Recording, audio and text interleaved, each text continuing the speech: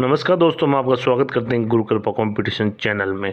दोस्तों, आज इस वीडियो में REET level first second second grade और प्रयोगशाला सहायक और राजस्थान पुलिस के बारे में चर्चा करेंगे।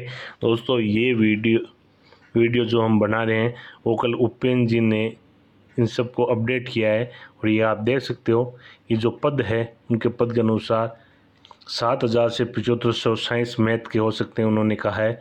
और दस हज़ार पाँच सौ से ग्यारह हज़ार पाँच सौ अंग्रेज़ी के, पचपन सौ बासठ हिंदी के पद हो सकते हैं। हिंदी के बल्ले बल्ले हो जाएगी क्योंकि पिछली बार सौ पद थे।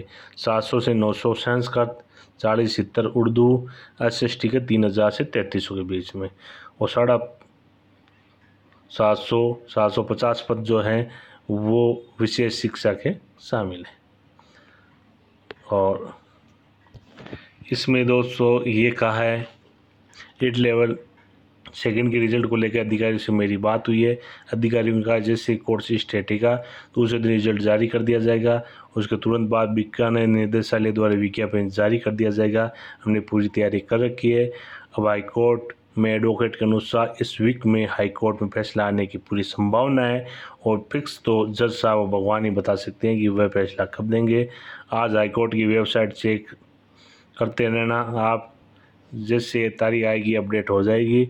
जीत संघर्ष योगी कल हाईकोर्ट में होने वाली सेकंड ग्रेड 2016 की सुनवाई और रिट से भर्ती 2016 साइंस मैथ की सुनवाई में मैं मौजूद रहूँगा। यानी आज कल ये अपडेट है, उन्होंने कहा है और आज ये सुनवाई होगी। और एडिशनल से भी आज सुनवाई की पूरी पूरी चांस है। और वेटिंग और एडिशनल के बारे में इन्होंने कहा यह आप देख सकते हो।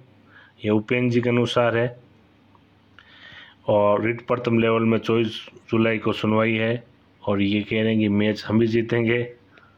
और ये प्रयोगशाला साई की वेटिंग विनोद यादव ने कहा कि कुछ मामले कोर्ट में लंबित है। और कहा कि कोर्ट में लंबित मामलों को छोड़ कर अन्य लोगों की वेटिंग निकालने की वेटिंग निकालने की कोशिश करेंगे। और राजस्थान पुलिस के बारे में उन्होंने कहा है, जहाँ पर ये हुआ है, हमने वहाँ पर शिकायत दर्ज कर दी है और जैसे ये पुलिस वाले क्या कहते हैं, उसके अनुसार अगला कार्यक्रम।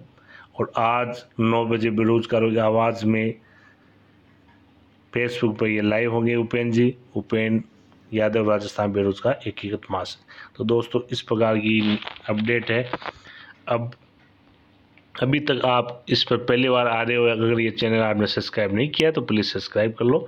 जय हिंद, जय भारत, जय राजस्थान।